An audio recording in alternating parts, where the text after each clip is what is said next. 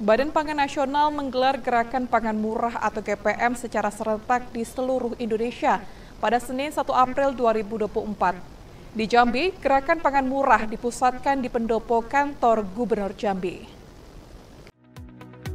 Kegiatan dalam rangka pelaksanaan kegiatan apel siaga pengamanan pasokan dan harga periode Hari Besar Keagamaan Nasional atau HKBN jelang Idul Fitri 2024 melalui kegiatan Gerakan Pangan Murah atau GPM serentak ini menyediakan kebutuhan pokok masyarakat termasuk produk pertanian.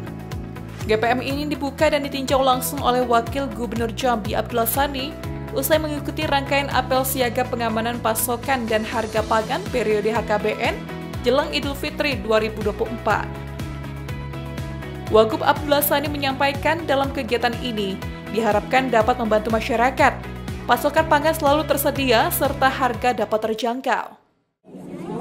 Ya, harapan kita hari bersama ibadah nanti yang masih waktu 9 hari atau 8 hari mudah-mudahan pangan tetap tersedia kemudian pasokan tersedia harga terjangkau dan seterusnya mudah-mudahan apa yang dimaksud dengan gerakan pangan murah kita tahu bahwa ini apa mudah-mudahan tercapai dan itu artinya adalah bagaimana sama-sama kita di masyarakat akan merasakan semacam uh, kebahagiaan, pencerahan dan sebagainya tidak ada beban yang luar biasa dalam rangka menghadapi Selamat disampaikan pada teman-teman juga hadir untuk lebih berbahagia atas kebersamaan kita semuanya. DI, BPS dan semuanya kami terima kasih. Atas kebersamaan mudah-mudahan menjadi bakal solid beban hal-hal yang perlu kita lanjutkan dengan kebersamaan. Bahkan kita tadi sama dengan yang ini Assalamualaikum.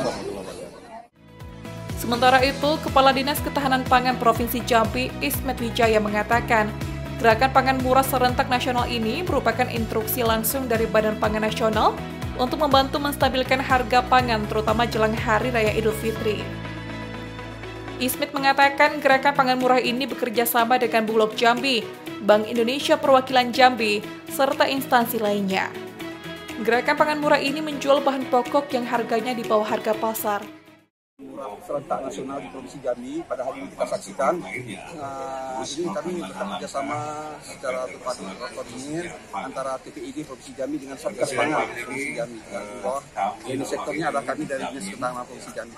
Jadi keputusan ini boleh katakan komplit ini ada dari kami sendiri dari Dinas Ketahanan Pangan peserta, uh, kemudian dari apa Dinas Pertanian, kemudian Dinas Perindustrian dan Perdagangan, dan juga ada dari Bulog, ya, dari ID Food, kemudian dari uh, pengelola pasar Suduol, kemudian ada juga dari agen distribusi bahan pangan, ya. Kemudian juga ada juga TI, ya, itu juga melakukan uh, kontribusinya dengan uh, melaksanakan penukaran uang, ya, uang baru. yang menjamin menjelang itu. Dan kegiatan ini akan berlangsung yang gerakan pangan serentak ini karena sifatnya nasional akan dilaksanakan pada hari ini saja.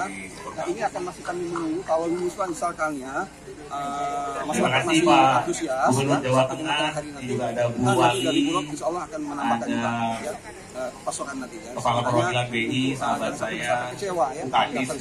Yang kalau Jawa Tengah kompak, kalau Jawa Tengah. Kemudian gerakan ini akan kita laksanakan terus menjelang hari raya Idul Jadi ya. rupanya Pak Komisi. Bapak Ibu semua TPID uh, Dinas Pangan eh, dan Jawa Tengah bisa menjalankan itu. Jawa Tengah sering dapat penghargaan tuh. Pak. Ya. APBN. Kemudian kita sekarang mau kabupaten kota mau ngobrol sama teman-teman dari ya, STB. Kalau ada Pak PJ Gubernur. Adapun produk pangan yang disediakan dalam GPM ini meliputi beras SPHP, cabai, bawang merah, dan bawang putih, minyak goreng, telur ayam, tepung, gula pasir, makanan olahan, dan hasil pertanian. Selain memenuhi kebutuhan pokok, pada kegiatan GPM ini juga disediakan penukaran uang pecahan yang bekerja sama dengan BI Jambi. Lina Liska, Cek TV, melaporkan.